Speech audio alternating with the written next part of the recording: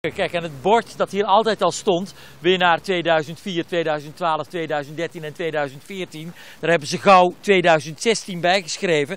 Kijk, en het is hier al de hele morgen zijn hier al mensen. Wat zijn ze lekker? Super lekker. Ja? Heel lekker. Zij heeft verdiend gewonnen. Eh, ik heb de andere nog nooit geproefd, maar wat mij betreft wel. Kijk. Ja hoor. prima. Nou, dat is mooi. Mevrouw van Dongen, komt u eens hierbij? Loopt het een beetje vanmorgen? Ja, het loopt al heel hard. Hier gedacht ongeveer 2000 te gaan maken. Ja. Maar hij zit nu al op de 4000. Ja, de bestellingen die lopen echt binnen. Dus eh, hij, kan, hij mag nu niet naar bed toe.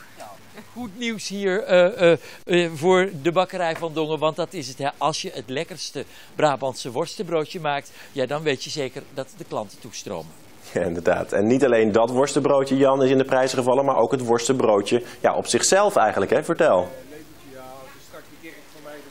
Ja, het worstenbroodje is immaterieel cultureel erfgoed geworden. Dat werd gisteravond ook bekend. Dat wil zeggen dat het zo bij onze cultuur hoort dat het niet weg mag gaan. We eten allemaal worstenbroodjes. Ooit ontstaan om vlees wat eh, niet mocht bederven, dan maar in brooddeeg te doen. Dan bleef het langer goed, maar het bleek ook heel lekker te zijn. En aten we dat vroeger alleen maar na de nachtmis met kerstmis. Tegenwoordig eten we dat altijd. Gisteren werd bekendgemaakt dat het het dat het nooit meer weg mag uit Brabant.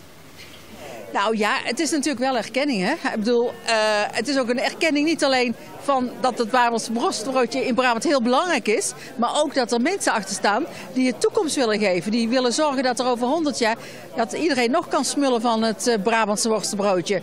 En zich daar ook heel erg voor inzetten. Dus ik vind, eh, ja, het is toch het is ook een erkenning van, van vier jaar werk. Want het is niet niks. Je moet er wel heel veel voor doen om erop te komen. Daar zit een hele, hele idee achter. Hè? Dat worstenbroodje is in alle families van Brabant herkennen we het als, als van belang.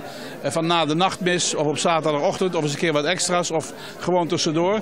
En ja, dat we daar een wedstrijd van maken eh, laat zien dat we het serieus nemen. Zo, zo kijk ik er maar eigenlijk naar, ja. De commissaris van de koning die kondigde aan dat hij de worstenbroodjes ook naar eh, de koning en de koningin zal sturen. En dat de koning dol is op worstenbroodjes, dat wisten we al. Want gisteren was hij in Feyenoord en toen liet hij zich zo'n Brabantse lekkernij ook heerlijk smaken.